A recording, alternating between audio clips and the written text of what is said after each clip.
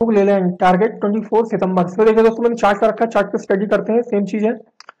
Chart में अगर आप देखें तो चार्ट देखिए, एक अपसेंट में चार्ट था राइट और यहाँ पे दो दिन में देखिए, ये गिरावट हुई थी, क्योंकि मार्केट में गिरावट की वजह से शेयर भी गिर गया था।